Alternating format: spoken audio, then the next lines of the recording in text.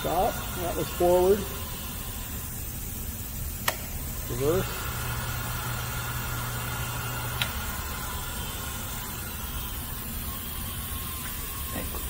That changing the angle of your grinder. And we got an air bearing spindle here. That thing looks like a champ.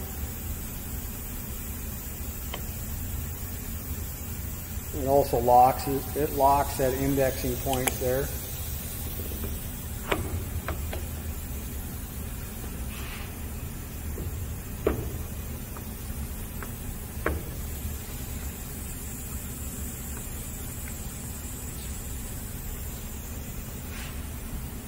Cable moves in and out, left to right.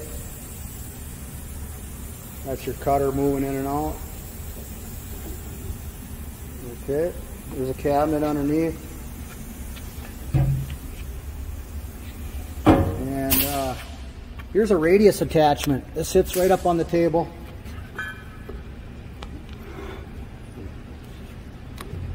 Just for sake of showing you, we'll just set it like this for now.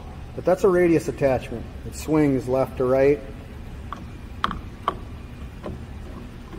And that also has a 5C collet holder. And here's your 5Cs. There's some cones for grinding. Uh, this attachment, I'm not,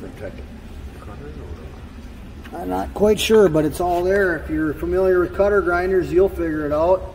Here's your operation parts and uh, manual. It's got a work light.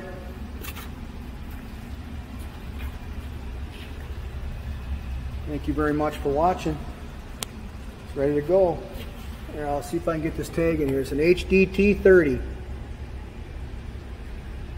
Made in 1987. It's had very little use. It's ready. It's just been waiting for you to use it.